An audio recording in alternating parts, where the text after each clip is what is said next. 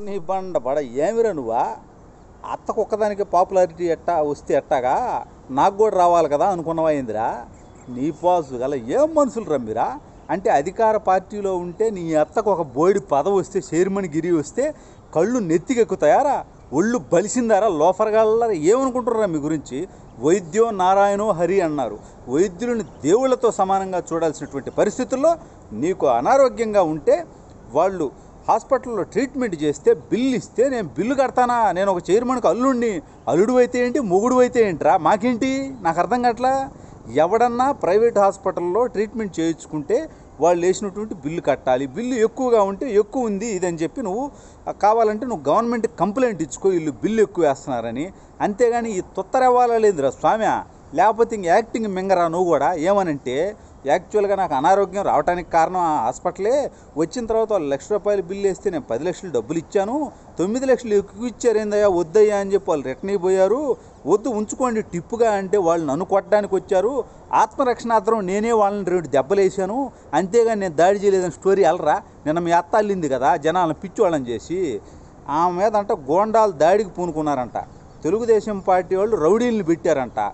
Tollgate సిబ్బంది ఆమె కాలు తొక్కేసి నలిపేసి ఇరిసేసారంట ABN yellow media TV five వాళ్ళు ఏం మీద పదే పదే విషప్రచారం చేశారంట. ఏమంటే ఏం పెద్ద సీఎం మరి ఆమె గురించి అందరూ పగబట్టి కక్ష కట్టి చేశారు. సిగ్గుండబల్లే బుద్ధి చేసిన పని మళ్ళీ పైగా మహిళా లోకం సిగ్గుపడాల్సినటువంటి అంశం అంట. ఏది? ఆమె చేసిన పని. ఏమి నాకు అర్థం కావట్లేదు ఒరే అత్తకి ఏమాత్రం తీసిపోకూడదు అనుకుంటే ఇంకేదైనా మంచి ఒరే మంచి పనులు చేసి పేరు తెచ్చుకుంటారు ఎవరన్నా. నిన్నటగా నిన్న ఆమె టోల్గేట్ సిబ్బంది మీద దాడి చేసి దాన్ని మళ్ళీ తెలుగుదేశం పార్టీకి మీడియా వాళ్ళకి అంటగట్టింది. ఇది కూడా అంటగట్టరా ఎవరో ఒకరికి నువ్వేగా నువ్వు పర్ఫార్మెన్స్లో నువ్వెందుకు తగ్గాల ఆమె ఆస్కార్కి ట్రై చేస్తే నువ్వు భాస్కర్ కన్నా ట్రై చేయాలి కదా ఆమె నందేవాడికి ట్రై చేస్తే నువ్వు పందేవాడి కన్నా ట్రై చేయాలి కదా. అసలు ఏందిరా మీ కొవ్వు? అధికారంలో ఉండడం అంటే ఈ రాష్ట్రం మొత్తం మీ బానిసలుగా ఉంటారని మీరు ఎక్కడ డబ్బులు ఇవ్వక్కర్లేదని దోపిడీకి పాల్పడొచ్చని దౌర్జన్యాలకు పాల్పడొచ్చని గోండాయిజానికి లైసెన్స్ అని అనుకుంటారా ఏంటారా? నాకు అర్థం కావట్లేదా? అధికార పార్టీలో ఉండడం అంటే లేకపోతే అధికారంలో ఉండడం అంటే నాకు అర్థం కాలేదు. అధికారంలో ఉంటే ప్రజలకు సేవ చేయడానికి పేదవాడికి ఏదైనా ఇబ్బందులు ఉంటే వాళ్ళని ఆదుకోవడానికి మీ అధికారాన్ని ఉపయోగించాలి కానీ ఈ తుత్తరెవ్వారాలేందిరా స్వామి? మాట్లాడిన వాళ్ళందరినీ కొట్టడానికి పోవటం దాడులు చేయటం మేము డబ్బులు ఇవ్వటం గోండాగిరి అంటాం ఎవడన్నా మాట్లాడితే వాళ్ళని మళ్ళీ తెలుగుదేశం పార్టీకో మీడియాకో అంటకట్టడం ఏందిరా మీకు వాళ్ళు నాకు అర్థం కాలేదా?